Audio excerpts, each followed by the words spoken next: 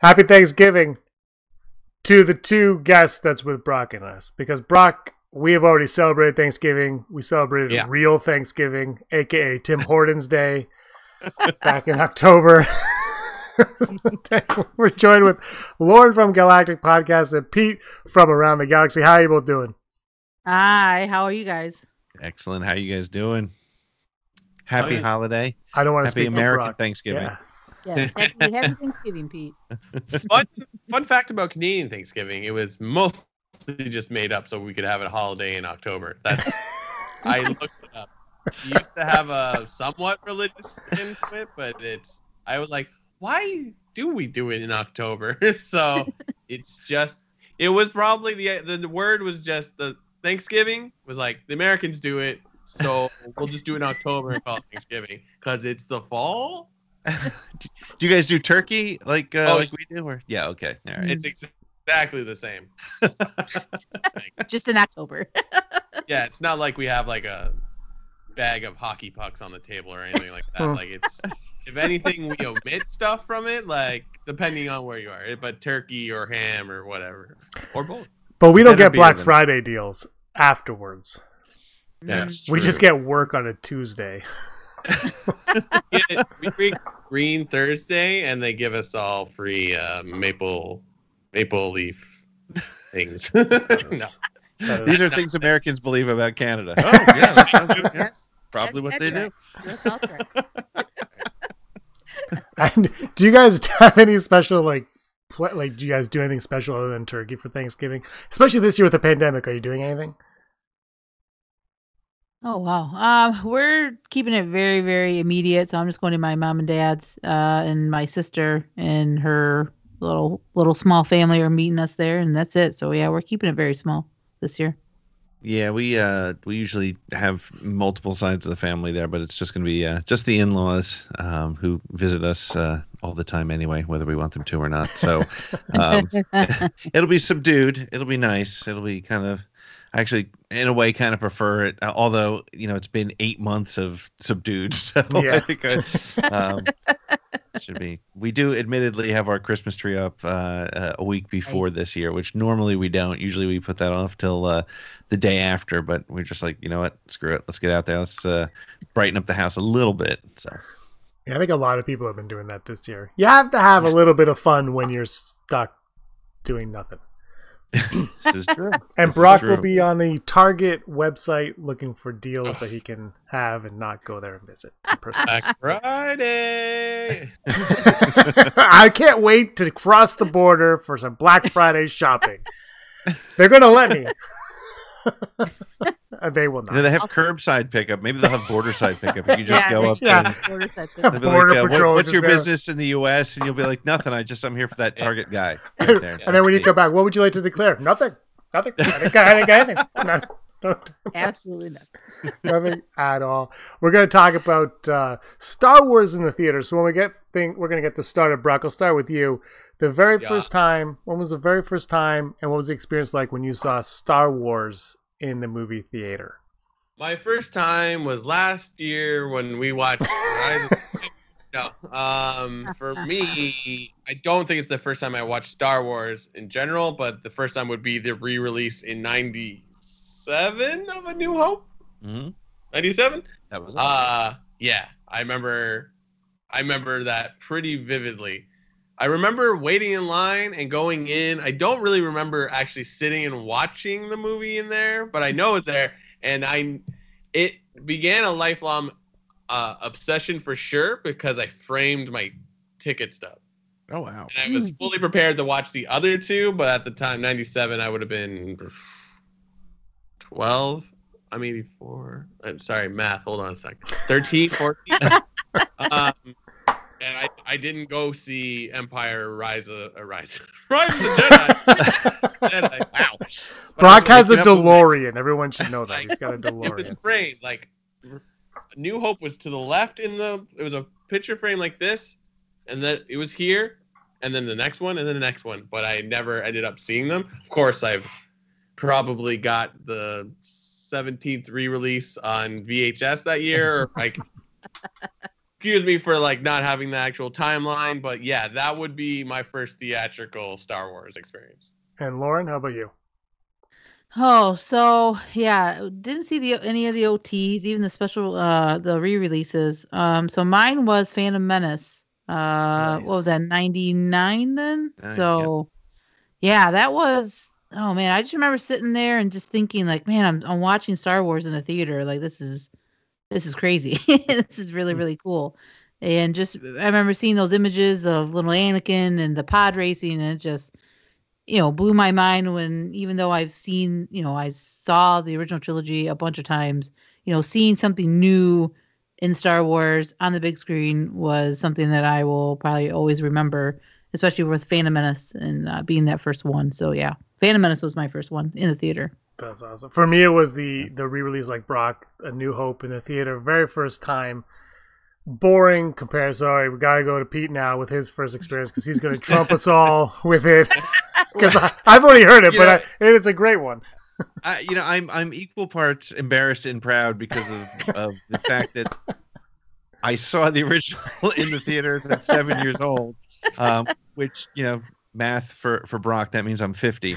So, uh, um, but yeah, I remember seeing it in. Uh, yeah, you'll get it. You'll get it. I'll, well, a little long division. Um, but we, uh, I remember it was actually it was later in the. It was. It turns out it was like in the September timeframe because of course back back in the day, back when I was a boy, movies stayed in the theater much much longer. And um, so I went. Uh, it was probably Labor Day weekend, and um, I don't remember actually seeing much of the movie. For some reason, I have vivid memories of like 3PO in the desert. Um, and a, a little bit of uh, the stormtrooper stuff, but my memory is sitting in the back of my parents' station wagon uh, because it was before safety was invented, and I just sat in the way far back. And I remember um, looking and pretending I was flying an X-wing, and every car that went by, I was pretending to shoot a Tie Fighter Oh. down. That's that's my memory of seeing seeing it in the in the theater, and um, and so that's been uh, that's that's a, a kind of it's funny because a lot of people who saw it in the theater for the first time, like always they always talk about oh I remember the spaceship coming over in the the, the Star Destroyer and. I don't remember that. I just remember I was excited to go and I was excited when I left. So So you're the only true fan of the four of us. Is what that's true. I am the only thing. You are all you are all posers. But uh, We're hacks. Well, let's We're juxtapose that now with uh, the Mandalorian, which had a, a release a year ago, but it was a little which I bit saw in the theaters in 1978. I, don't know. I knew it. I knew. it. But Pete, why don't you start us off with that? The first time you saw that, the experience of Oh watching that as well. you know it was it was funny because um it was there was so much excitement around just getting disney plus and and and this whole new network. So um i actually watched the first episode of the mandalorian um in my bed on my iphone.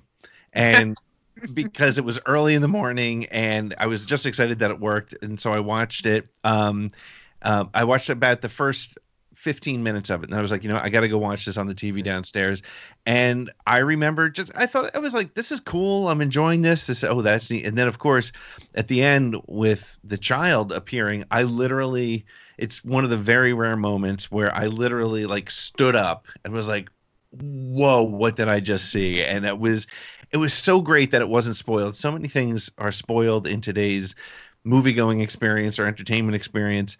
And the fact that that wasn't is is miraculous and i'm so glad it wasn't because it just it it pulled you right right into this series you you were just you were stuck you were going all in at this point Lauren? Yeah, I uh oh man. Again, kind of like what Pete was saying, you know, Disney Plus was kind of a, a big thing and everybody was really excited about it and obviously The Mandalorian as Star Wars fans, we were just pumped, especially if you were at, you know, Chicago Celebration. Um I was at that panel. I mean, just hearing Jon Favreau, Filoni, uh Pedro and all of them just talk about how much they loved just being on set and doing this new kind of brand i mean really brand new Star Wars. Like nobody it's an era that we weren't familiar with. It's just brand new characters. So you really kind of got you know excited just being there. And then when the show started in that first episode and you're just like man this is this is different it's different Star Wars but it felt Star Wars at the same time you Yeah. know the music from Ludwig again, it it was different, but it it fit so well in that first episode, and you just you were into it, just like uh, Pete said. You were you were locked in once you started watching it, and once you kind of just let the story start unfolding, and then that moment of the child, you know, showing up at the end. It, right. I mean, I was just like Pete. I was just like, oh my god, what what just happened? Like, I need to see the rest of the series. Like, what's going on? Like, you wanted to know everything at that point, and then right i mean how they held that secret for so long is amazing especially when you had celebration you know uh, a few months before that and nothing got leaked nothing got Mm. said nothing got mentioned i mean it, that is a miracle in itself and that's kudos to i think that team keeping that stuff under wraps. But yeah i was and that first episode was so good too. I mean again it drew you in. It, it was different but it was you know there was those easter eggs that you we all saw in that first episode. So yeah it was it was so good. It was so And- good and- and it's still good and it was laugh out loud funny even before the Mhm. child showed up. Because I remember laughing Yep. at the IG Eleven lines, and it was just I loved that connection, and it was Yeah. full of shocks, and and that, that was I think why it worked so well was because it was full of that first episode was full of shock because Mhm. eh, you know I may or may not have seen bootleg versions of what they showed at Chicago, Mm-hmm. um, so I had seen that little bit, um, Mhm. but I had no idea what we were going to see, and and again, it was shocking when he shot IG Eleven because I was thinking based on promotion and based on the relationship they built in that little Right. battle, they're going to be buds and they're going to go through everything together, and then bam, so shock after shock, and it was just so great. yeah, Yeah. And Brock, you haven't seen it yet. What?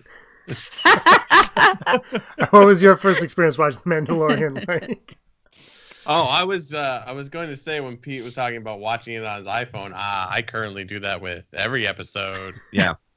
Of Well, the I I do. I, you know, I'm with you, man. I literally like I will set my alarm for 5:45 a.m. so I can watch it before anybody wakes up, and then I'll go watch it later again in the day with the kids on the full size TV. Oh, absolutely. It's a it's definitely worth a second watch on every episode. Mhm. But uh, yeah, I love the Mandalorian. you have to watch it early in the morning, otherwise it gets spoiled no matter what you do. And mm-hmm.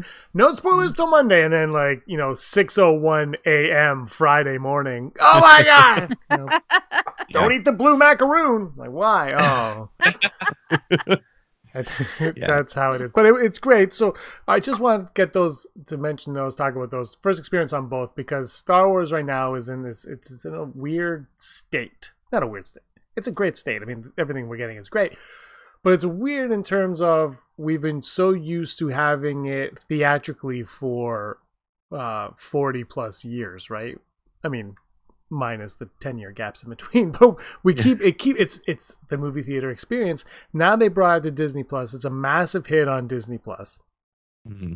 the theatrical release was supposed to be 2022 covid happened it got moved to 2023 and i believe the last thing that disney has shown that star wars isn't even on their slate of films anymore however Mm. don't worry everybody that has directed a movie has been attached to a star wars film but Taika. Waititi apparently they're going to do second unit shoots or something in New Zealand or something in December. Mm. I don't know how you do that when you don't have a premise yet or a plot or a script, but I mean George Lucas did it with with the the volcano in Italy if you remember for the Mustafar stuff and he hadn't written that one yet. So I guess with Star Wars anything is possible, but we're going to talk about the the state of Star Wars in the theater and Mm. um, what we can expect from that. So, Pete, let me get off to you. Start off with you, and like all the things that are happening, all the these names have been attached to to movies. First of all, who do you think is going to direct the first Star Wars film since the Rise of Skywalker? That's a great question. Um, I, I think it's probably Taika. I just think he's probably going to be. Um, it, it just makes sense. I think he's also got the the the right experience um, because I think a lot of the the other names like uh, Leslye Headland is more attached to a television show. Um, Deborah Chow um, is attached to Obi Wan, um, and um, I, I don't know. I, for a while there, I was thinking it could be Favreau, um, but I think the Mandalorian has been so successful. I don't think they want to pull pull him away from that. So I'm I'd put my my chips on Taika. Yeah, Brock.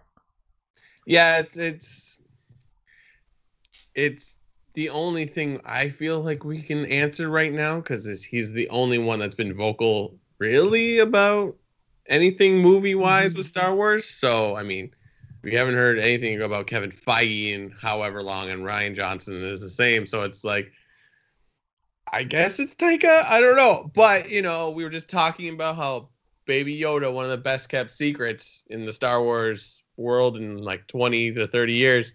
Mm. Maybe there are they there is something in the works and they are just waiting or they're trying to stay as tight-lipped as possible. Yep. Lauren?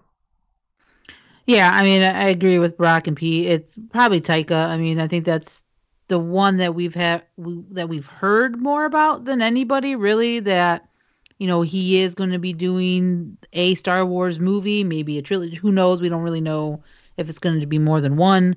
But I feel like we've heard about his him doing and being involved in a Star Wars movie more than anybody recently, and it makes sense, especially him being attached to the Mandalorian and people you know, obviously enjoying his work beyond Star Wars, uh, you know, all of his um, other great movies that he's done. So it makes sense that he will probably be the next director of a Star Wars movie. I would love, for me as a female, I would love Bryce Dallas Howard to get a shot. Yeah. I've enjoyed her episodes of The Mandalorian so far. They've been utterly fantastic. Um, I would love for her to get a shot at something. That's just my personal. That's my maybe wish list if you want, but uh, but yeah, I think Taika for sure though. I think is the obvious choice. That I think he'll be the first to do the next movie. Let me side think there's- Ackbar. Sorry, go on, Pete. No, go ahead. Go ahead. I was going to side Ackbar on what Lauren just said and go into um, Bryce Dallas Howard. Maybe not a film, but could you see her doing, uh, like Deborah Chow moved into Obi Wan Kenobi? Could they give her one of these Mandalorian spin off shows, possibly to Bryce Dallas Howard? What do you guys I think? wouldn't mind it. I think she. I think she's more than capable of doing it. I think with those two episodes that we've seen, and obviously just her pedigree. I mean, her father is one of you know a great director, and I think she's definitely you know within that realm of you know she's very familiar with doing it, and I think she could do very very well if she did. If like I said, if you did a series or a movie, but yeah, maybe a series would make more sense for her though. Right now, who knows? I, the the thing I was going to say was actually directly related to that, um, and that is, you know, one of the things about Bryce Dallas Howard's approach to the shows is it's very, very subtle, right? Mhm. So I will readily admit that when I that I went back and I thought about the first eight episodes of Mando, I thought number five was my least favorite because Toro Calican. There's nothing good about that character. Um, sorry, Steele, but there was zero I can say that's positive about that. Um, but my second least favorite was um, episode four, which she Mm. did. And um, when I went back and I rewatched it, it you know the thing is they're all so close as far as quality goes i can't say it moved to number one or two but i really appreciated it because what she did and she did a nice job of it also i think in her episode in season two was she did a really great job of giving you a unique perspective uh, from the child's point of view. And I, you know, Mm. next time you watch that episode, you'll note she uses a lot of lower camera angles. She does things that kind of put you in, not necessarily, you know, it's not like as obvious as ET, where it was never, you know, above a child's view, but she positions it. You get like that's the first episode to me where you get a sense of scale between how small the child is and how tall the Mandalorian is, and that makes that relationship more interesting. The other reason, the other thing I was going to say was I think the reason Taika makes sense to come back is it will be what uh, minimum of four years since there's been a Star Wars movie, which Mm. you know by our old standards is next to nothing, but by today's standards is a very long time. And one of the things that Taika does so well is he mixes humor, uh, he mixes drama, and he mixes action, and that's what works for Star Wars best. I think that's why The Force Awakens is among people's top Star Wars movie because it brought you back to what you remembered from the 70s and 80s, but at the same time, it had the right amount of humor and the sensibilities of a modern film. So I think he is a perfect person to bring us back to Star Wars in the movie theaters. Brock, anything you want to add? Uh, no, I agree with all of that. Um, Bryce Dallas Howard. I mean, just the fact that she did a shot for shot of uh, Yeah. the ending Oh, and yeah, the yeah. episode from Apollo so good. 13, Apollo yeah, Apollo 13. 13. right? Mhm. And it's like you didn't have to do that, but she did, and I'm like, Yeah. I mean, maybe there's more to it. Like, hey, wouldn't you want to do this? She's like, yeah, no, or like, okay, guys, I had this really good idea when I was writing the script. uh, that those touches are great. So it's like, and, and then like we've talked about episode four of the first season so many times. It's the most memeable episode. So I guess for the director, I mean, Baby Yoda holding the bowl of soup. It's all over the internet. Um, but I'm on board for honestly. I haven't heard a director if it's true or not that they've announced that wasn't a bad idea. So Hmm. it's like, Mhm. let's do it. Like, if you if you guys watch uh, our channel as much as we watch yours, like all we constantly say is like more Star Wars content, more, more, more, more, more, more, more. Like it's like what in the last ten five years, I don't know. I don't know why I changed to ten because like, but the content that we've got been getting for Star Wars has been pretty good in my opinion Mhm. across the board. I could be wrong, but it's like I know we're talking just about theater right now, but like I haven't been let down in Mm. my opinion. Right? So Yep. sky's the limit. Okay, so let's move on. Just switch gears just a little bit in, in terms of the theatrical Star Wars, and then you have uh, the original trilogy, and then the prequel trilogy, and then you have the sequel trilogy, and of course Rogue One and Solo, and Solo obviously ruined Star Wars in the theater. Right. yes. Totally did. But but we but the one thing that all that all ten of ten is that 10? 10 11 of those movies have I can't do math either. The Yeah, Canadian it- math is uh, you know metric. I, yeah, I think it's the conversion. It's the conversion. It's the, it's the conversion. Yeah, Yeah. that's what that's what it is. But there's the eleven movies where they've all, and even the Mandalorian to that to that extent, has all connected uh, with this thing that they've referred to as the Skywalker saga. It's all kind of lived in that bubble of time, and we've heard. Um, you know, some saying that they're going to stay, like the High Republic is going back, but we're still going to get Yoda, so it's still going to, everything is going to connect. Is it, and Lauren, I'll start with you. Is it the Mhm. right decision for them to go 50,000 years in the future or 50,000 years of past? Give it, the year doesn't really matter, but, and just ignore the Skywalker saga? Or should whatever they do going forward not maybe in your face, but have little ties to to what we've seen and what we know? It might not be Skywalker, maybe as Emperor Palpatine has mentioned, things like that. hmm Yeah, I, I think either way. I mean, if you go, you know, so much forward, so much back, you know, I think what they probably will do, in in my opinion, I would like them to go completely just away from the Skywalker saga and do something brand new, new characters, new area of the galaxy, something that we have no idea about, have never heard of. You know, that that to me that that is more exciting than trying to kind of piece things together as far as like connecting things. Like you're saying, the High Republic, we're gonna have Yoda, which is great, a great character. We all love him, and there's little connections like that. I like I would love to go like I either or, either forward or back. Um, I would love to just be in completely new area of the galaxy that we have not explored yet. We are very unfamiliar with. That's what I would like. Um, but will they do that? I don't know. I think if you want to keep kind of the general audience, because obviously we're hardcore, we're all hardcore Star Wars fans. We're gonna watch it anyway, regardless.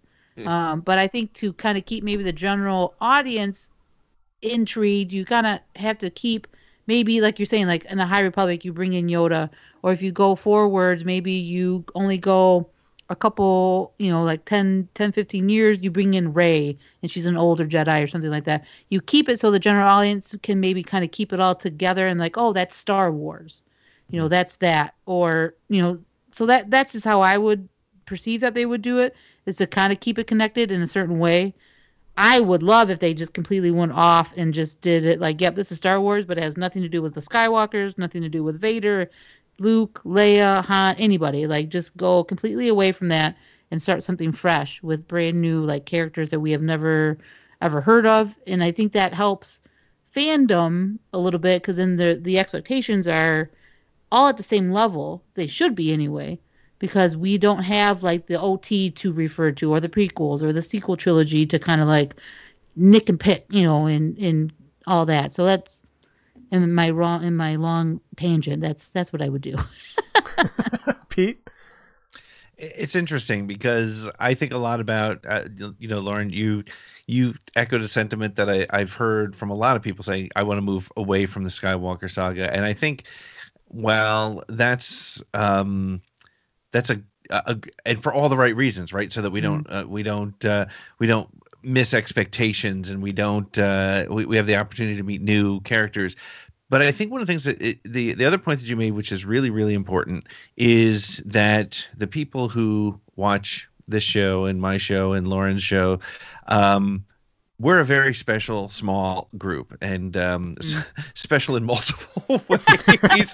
But um, um and, and that if you think about the vast audience even if think about even the largest star wars podcasts out there even you know the people that uh, like a star wars explained for example right? They have i don't know 630,000 subscribers on youtube. If you think about that if those were the only people that bought movie tickets to see star wars it would be a failure Mm. So at the end of the day, you they need to appeal to that larger audience. When I think about the rise of Skywalker, which um, I had so many issues with, I accepted it as a Star Wars film, but I'm I'm I'm still processing. It's a year later, and I'm still like, oh, I got issues with that. I got to pull through. Um, but it's funny because you know, like if we take my most base problem with something like Rise of Skywalker, it's because the Emperor came back and we didn't get any explanation, right? And so that's that's like sort of the the bottom of the pyramid of problems that I had with Rise of Skywalker. Um, however, when I walked out of the movie theater with friends of mine who were just, you know, in that larger than 670,000 people who follow Star Wars Explained, mm-hmm. um, they were like, that was great. I love that movie. And it's because there was almost the Thanos effect, right? In that they recognized Palpatine as the bad guy. Oh, it's that guy from the movie from 30 years ago. I get it. This is something I mm-hmm. can attach to.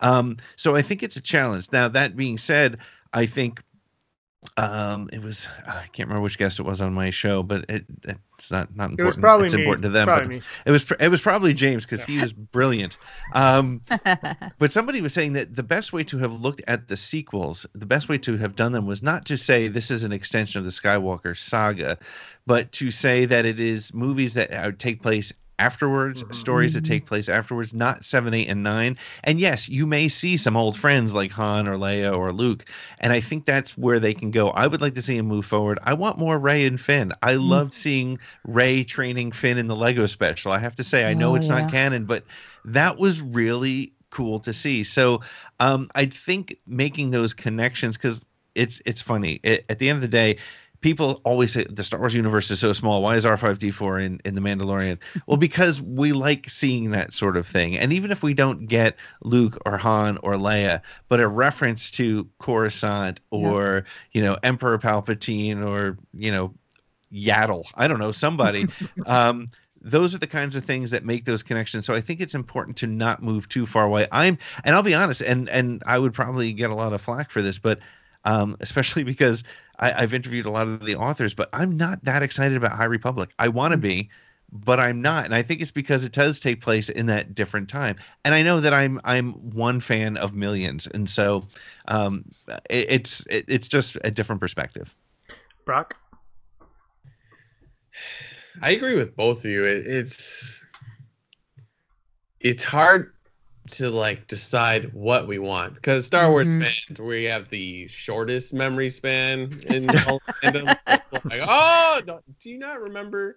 Um, because you both make good points. It's like, yeah, let's because one of the problems with the sequels was like they didn't handle this handoff of the new generation characters to mm-hmm. and the mm-hmm. old generation like I get it. You want them all in there. We want to know where these characters end up, but like it became sort of messy on so many different things and I agree like Finn and Rey and Poe, they're interesting characters and honestly till like the third one we barely get to spend time with them, which I know is weird cuz they're the main characters, but like I feel like yeah. the, the the camaraderie that you see in the beginning of uh, Rise of Skywalker, it's like yes, like Right. Let's make a show about this, and they all live in an apartment in New York and work in a coffee shop. um, but I, it's, it's sort of like, I don't think it needs to be like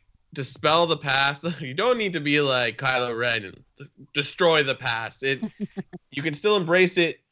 I think it needs to be the question needs to be answered is like what makes a Star Wars movie a Star Wars movie. So it's like it, I am very optimistic for the future if they're allowing people like Filoni and Favreau to make the Mandalorian. hmm I, I say this over and over again. Filoni is the new George Lucas. He doesn't need to create any new Yep. content or whatever. He Mhm. just should be someone that's on every single set. And they're like, "Hey, Dave, what do you think about this?" And he'd be like, Yep. "It is so," or "What's Yeah, this is the way? Right. This is the way." Sorry, it's late. this is the way. Like, it'd be perfect. He doesn't need to be the director. He doesn't need to be the writer. He just has to be there. Hmm. So,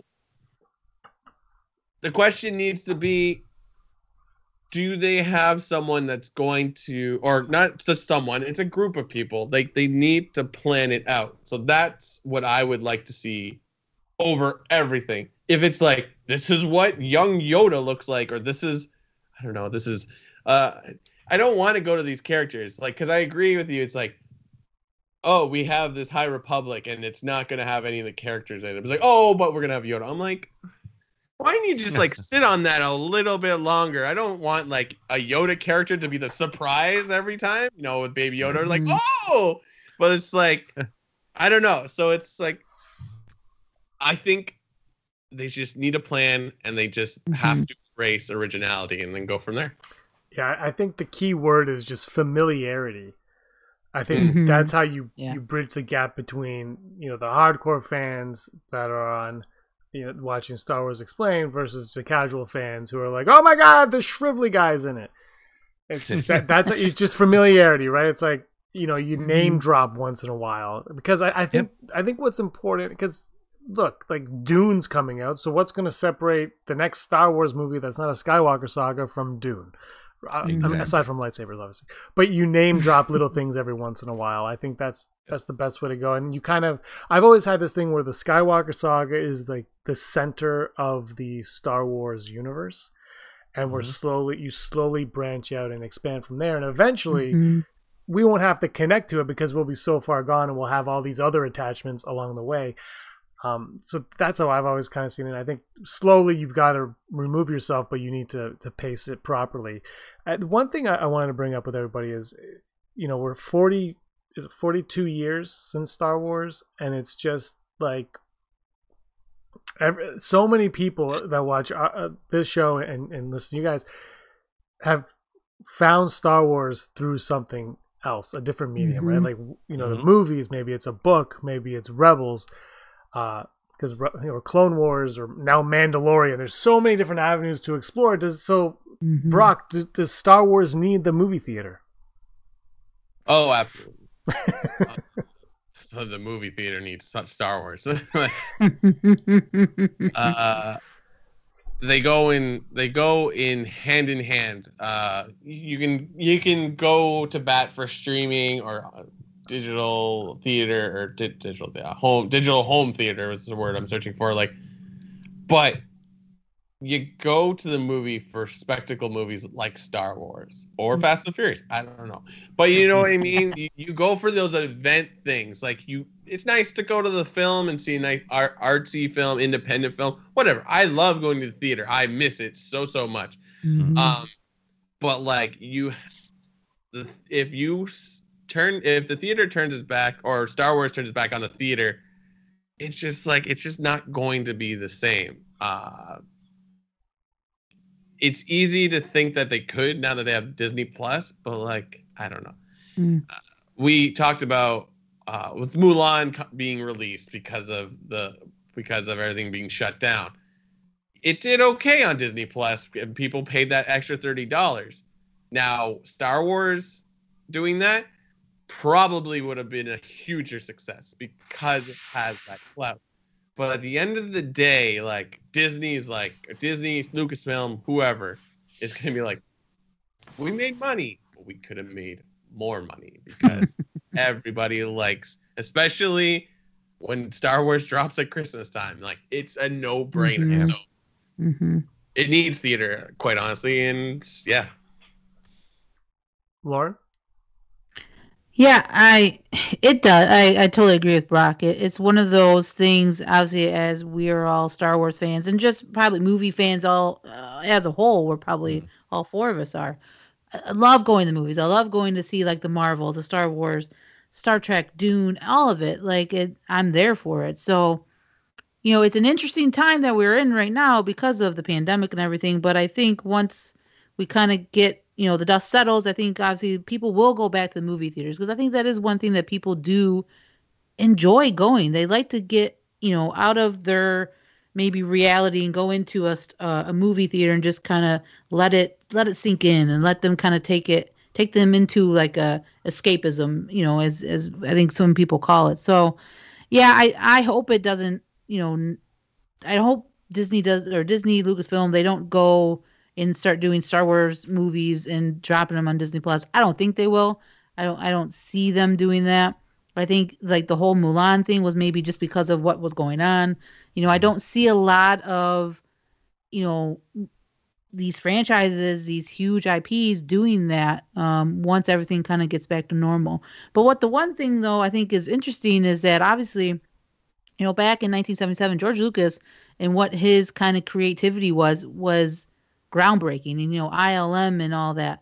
Now look what they're doing with The Mandalorian. That's going to change not only I think mm-hmm. how they film Star Wars movies, that's going to change everything once, you know, people start using that because you can tell from season 1 to season 2 the huge like difference. Yeah. I think you can tell because obviously in season 1 they were still paying, you know, paying the money off for building the mm-hmm. volume. But now it, all the budget's going to the show itself and you can tell the the the difference, you know. But I still think Star Wars is a like Brock said, it's an event. It's what people go to, like like us, even the general audience. I mean, there are people that just go to movies and like, oh hey, Star Wars is back. We'll go see it. You know, the people like to go to the theater. So I think it once everything gets back to you know some type of normalcy and theaters are back and you know filming begins and projects are going, I think it'll be fine. Um, I think it actually helps with the longer break because now I think like we were kind of talking about earlier, they can you know maybe write the complete story of a trilogy that they want to do. You know maybe they they they can create this whole story instead of maybe maybe the sequel trilogy. You know they're kind of not piecing it together, but doing it fast so they could get it out to the masses. I think there was a hat and they were pulling plot ideas out as yeah. they were. oh, I totally agree. Yeah, I mean it, it was though. I mean you could it felt that way sometimes, right? Yeah. To to us hardcore fans, you know. So maybe this this break, this kind of, you know, instead of coming out in 2022, you know, maybe we're here in 23 or past. That's fine for me. Like because also because of Disney Plus, we're getting yeah. Star Wars content regardless. So we're being fed either way. You know, I mean, I'm I'm rewatching Rebels because I freaking love that show. it's because it's accessible on, on yep. Disney Plus. Yeah. So, you know, I think it will be back. I think it will be fine once the movie theaters open up and, you know, production to these movies kind of start rolling back again. They'll be fine. I don't see them going into like a whole straight to streaming. I think it was just a, a thing that was just happening right now. That's why I think some movies did that for sure. Beep. Yeah, you know, I think it's um I wish I thought about this a little bit more before we talked, but I, I have a, a, a thought that I think we're going to see sort of a, a hybrid approach. So, um, first of all, when when Disney Plus launched, um, I had said back then that Disney doesn't invest in these sort of things unless they know they're going to win. Disney has a magic crystal ball and they can see the future, and they recognized that Netflix and Hulu and mm. uh, Amazon and there that's where the money was. And so they got into it. And it was funny because when we first got Disney Plus, right, I think a lot of us were excited because we were going to get all the classic Disney movies and we thought of it as truly a Disney platform. Well, now I think a lot of people look at it as a Marvel and Star Wars platform that happens to mm. have National Geographic and all those great animated movies on it.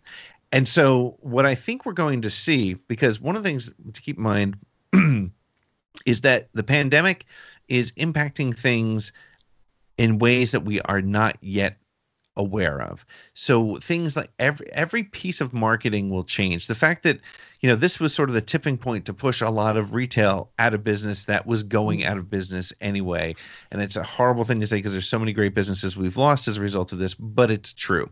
Um, And I think we will see a hybrid situation where we will see many more movies released on your streaming service and in Mhm. theaters at the same time because um, the movie going experience is expensive. And in order for the movie going, uh, uh, in order for th- theaters to catch back up, it's going to remain expensive.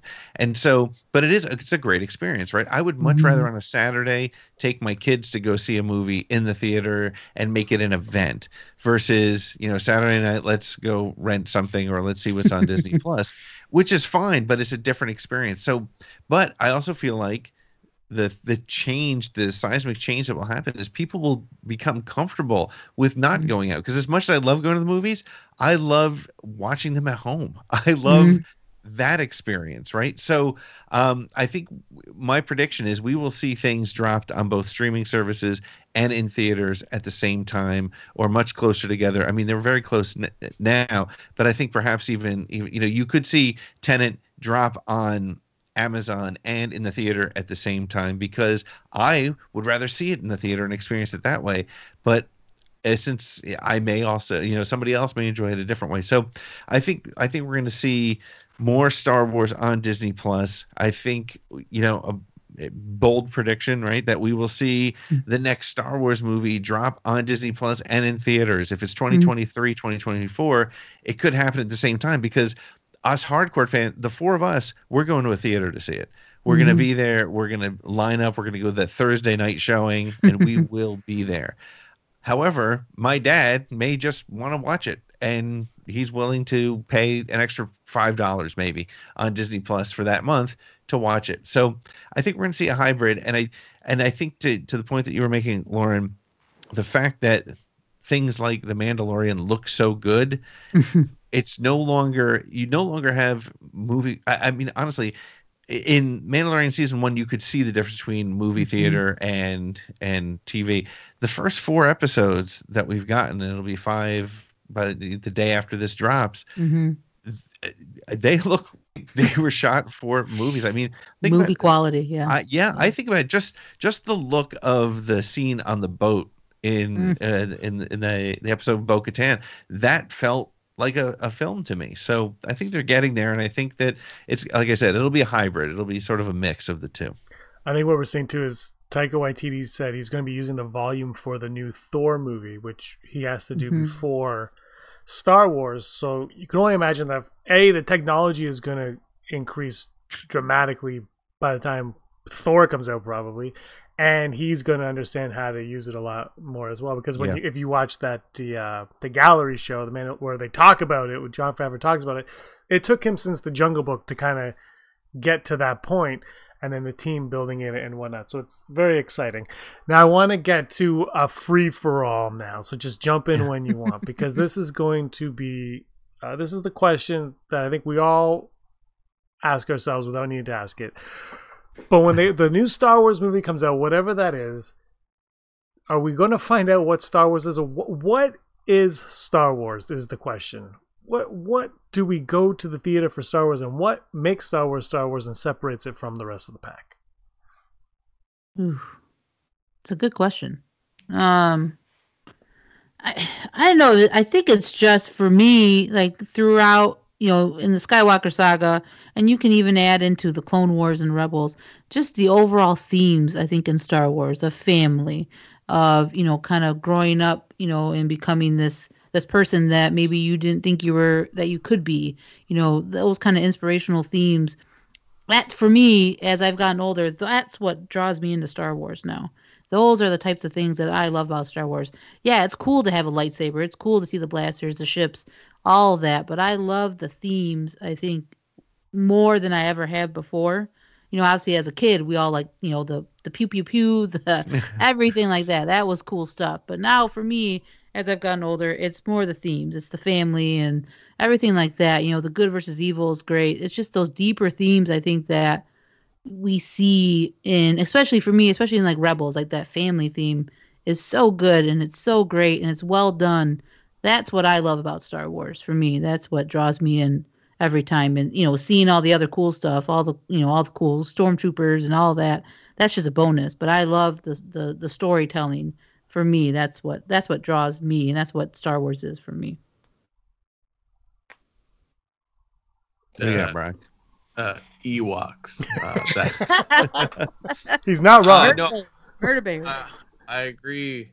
Uh, it's about family. Uh, it, my first response in my head was like the Force. Like, hmm though we have had a lot of Star Wars stuff that doesn't really include the Force right at the forefront, but perhaps what you were saying about family is like that is the Force at work as well. It, it for some it's it's it's it just seems to always be a story about like finding your place, which in the galaxy, in a family, in just in general, right? So it's like perhaps for the ones that don't have Jedi or Sith or a lightsaber, perhaps that's the Force in action, the Force. So like to pivot off of yours, I think it's like I think it's about finding your place Mhm. and finding and understanding why the galaxy works the way it does. So that's how I see it as Star Wars and Ewoks. Thank you. Yeah, like, And Ewoks.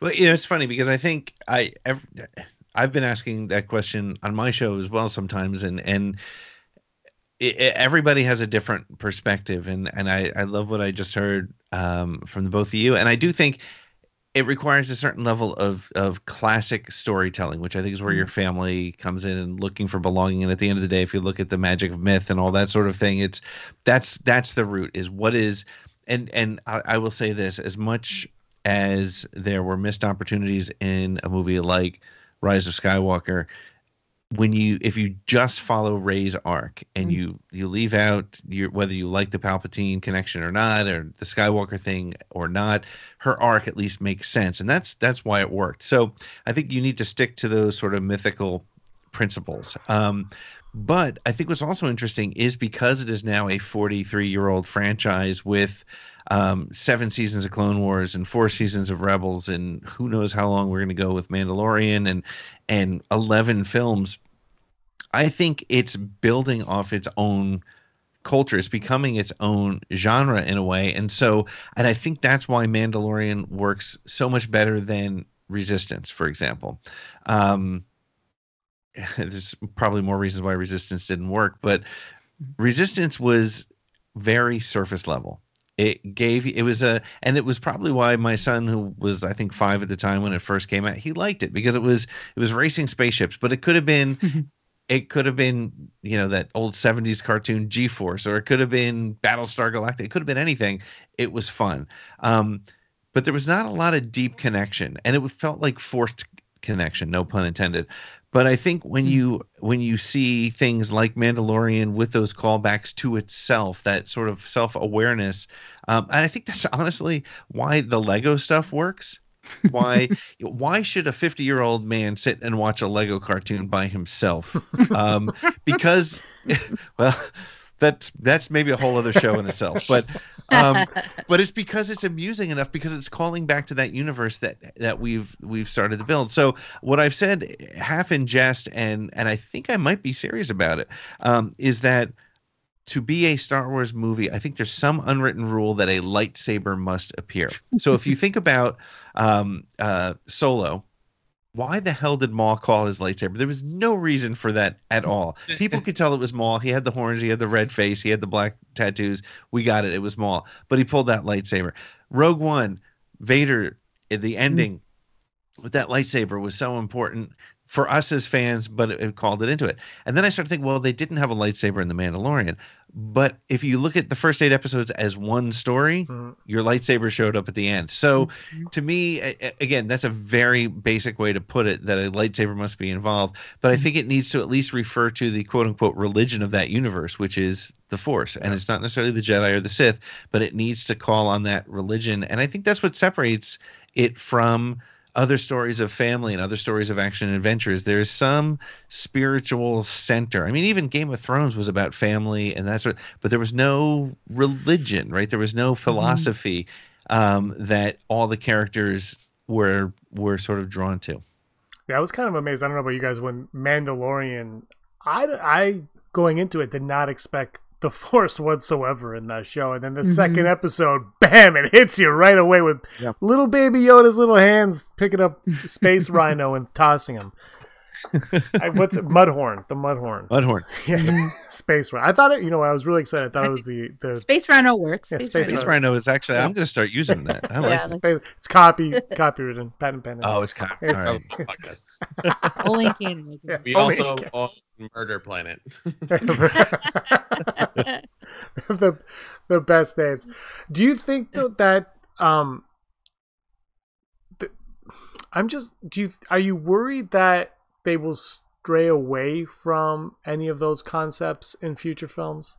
Like I think family will be family, but lightsabers I think you're, you're right. They keep bringing them up, but I also feel like a part of me feels like sometimes they want to shy away from them.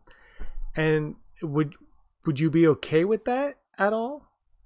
Well, I think one of the interesting things is that, and somebody said it, that you know, has Favreau, uh, F- Filoni rather, ever actually done a show that it was named after? Right. So Rebels, Rebels was a Jedi story. I mean, it was it was a lot of, it, and it was a family story, and that's those two things worked well together with with the mandalorian i think we all expected just like you were saying james i don't i didn't expect to see the force at all i expected it to be pure cowboy uh, you know kind of uh gunslinger kind of story.